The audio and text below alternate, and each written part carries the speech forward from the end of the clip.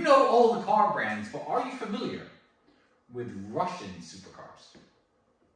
No, I don't think they There make is it. a Russian supercar I don't think those exist. that exist. exists. They absolutely do exist. I don't think they do. And with everything going on in, with Russia and Ukraine right now, I thought it'd be difficult to get my hands on one of these Russian supercars, but I managed to get one. A new car that transcends every other vehicle.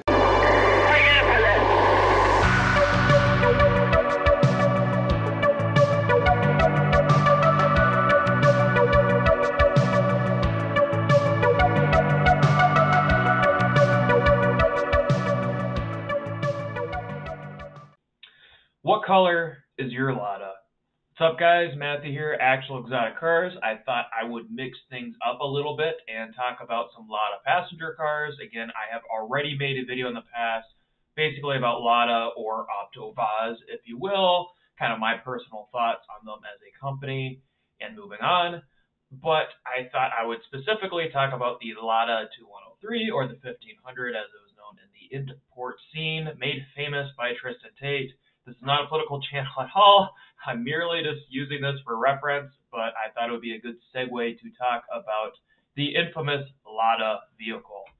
So this is a picture of the Lada 2103. Again, very well known by Tristan Tate. Uh, a couple clips here. Um, here is a video of a Lada that also went pretty viral and off it goes. You cannot stop a Lada. So what are my thoughts on the Lada 213? Again, known by its import or export name, known by its export name as the Lada 1500. And is it something worth buying? Can you buy one? Are they already in the U.S.? What are their prices in the year in Europe? What were they sold for? And basically, what is it based off of? Again, Lada, most Soviet cars are basically rip-offs of Western makes, more specifically, for the most part, rip-off of Fiats or Italian makes. Uh, good reference for that would be the Stava, the Yugo, the Polski, so on and so forth. So a Lada 2103, uh, also known as the Zhiguli, though I would say the Zhiguli would be more of a Lada 2106 in my mind, but that's just personal opinion. So 1500 is what it's known for outside of, I guess, the domestic market, which in this case would be the Soviet Union. So the picture of this Lada here, technically the badges would be a 1500, even though it's literally just a Vaz 2103.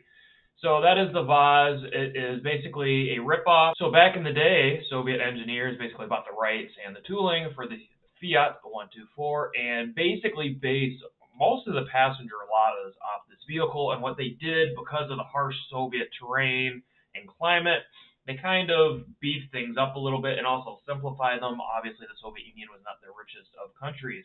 So these are basically dumbed down, more simple, and actually more beefed up, if you will. When I mean beefed up, I mean suspensions, frame rails, so on and so forth. Fiat 124s.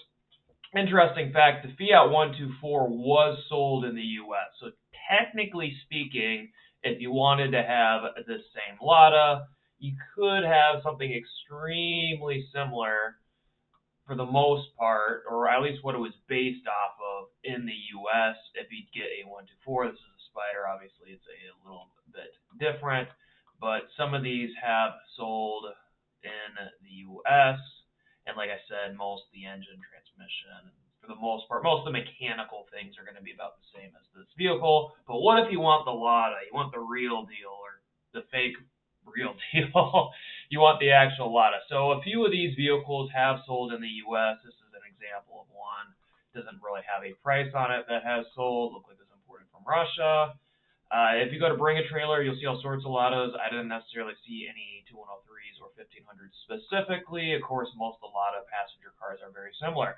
So it these cars are rear-wheel drive and they're four-speed manuals. Uh, there is a couple of variations with the engines I can get, given they're all pretty similar: 1.2, 1.3, 1.4, so on and so forth. There aren't really any. Obviously, you're not gonna get a uh, front-wheel drive or all-wheel, four-wheel drive or anything like that. This is like 70 Soviet rear-wheel drive, four-cylinder car. Suck it up. So that is basically a lot of very simple, uh, very known to be very easy to work on. In fact, a lot of the Western reviews were praising. Here's an example, granted this on the Wikipedia page. Extremely serious working instrument, able to operate in the worst conditions. Well-made car, capable of being serviced anywhere, even by its owner. As somebody that personally owns a Russian car, I would say the number one concern for me would be quality. But the coolest thing about Russian cars is A, they're beefed up because of the harsh climate, and B, they are very simple to work on. So basically, again, dumbed down Fiat 124, if you will, and actually a little bit cheaper. So Lada as a company, and I have already covered this in my past video, which I might link down in the description, they did export these to most Western countries. Unfortunately, for some odd reason, they never made it to the U.S. or officially as of yet. So uh, let me see some examples here. You can see there's these are some Lada 1500s for sale in Europe and just so you can see a price range in Western Europe. Now, obviously, these are from Western Europe, so the prices are going to be a little more larger than or higher than what they should be. So if you find an Eastern European country, let's say Ukraine, for example, then 1300 obviously this price range would be a little nicer. Granted, the mileage on this thing's crazy. she's 400,000. Um, cool thing about Lada, let's say you wanted to buy one of these vehicles. Let's say you wanted to imitate Tristan Tate or whatever here and you wanted to import one of these in the US, how would you go about it? If it was me, what would I personally do? And is it even worth importing one of these into the US? So this is a very good question. Awesome thing about Lada compared to most other Soviet vehicles, even with everything going on right now, with the situation going on in Europe, getting parts is still relatively simple. So there's a couple websites for Lada, LadaPower.com, LadaShop.com. There's even more than just that that have some of these, again, shipped straight from Russia still. I don't know how. I don't question it, but they still ship parts from there. So as long as I can get parts for my vehicle. Uh, this is a company from Estonia that is very, I've had a good experience with so far. I personally recommend them. And let's say again, Lada 2103. So this is 2101 slash 2107. And let's just look at some of the parts. So let's say I need some brakes. Okay. Uh, let's see if we can find some pads or anything like that. Uh, pads. Okay, awesome. These are Neva. All right, so these are the pads that, that we would be looking for. And honestly, 20 pounds, actually, would that be euros? I'm an American, I apologize. 20 euros, so that'd probably be roughly like 25 US dollars, not including shipping for a set of brake pads. Not bad at all. So getting parts for these would not be too difficult. Here is a brake cylinder caliper also for a Lada doesn't seem that complex to come by. And the cool thing about these Ladas is they were all very similar, the 2103, 2104, 2105, 2106, you get what I'm saying. They're all very similar even between the different models. And you can see that with the price range or the model range here, 2101 to 107, where all these parts are clumped together because for the most part they're very similar or the same. So it's kind of almost like buying parts for like a square body pickup truck in the stateside. They made these for such a long span that the parts are so very common because they didn't switch them up. And the cool thing about the Soviet market is there wasn't really a lot of changes. It kind of got stuck in time. And what I mean by that's a cool thing. You could get like a 1985 Lada. It would still look like a 1970 Lada. It's not like with capitalism where every five, six years, you know, they're doing an update or a change or a remodel, redesign. They didn't really care about that in the Soviet Union. Did the vehicle, the vehicle, does it perform its function? Does it move? Okay, good. We don't need to change anything. So because of that, if you're really into older cars, the cool thing about this, for example, my UAZ Bukhanka, is you can get a newer car that might be slightly more reliable, maybe, possibly, but they made them for a longer period of time, but it looks like an older vehicle.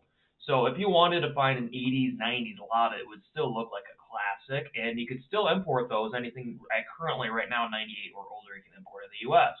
So these are just a couple examples of websites. I know there are probably a lot more. There actually is a lot of parts store in Miami that I've referenced in another one of my videos that I personally visited. So getting parts, supplies is not that difficult.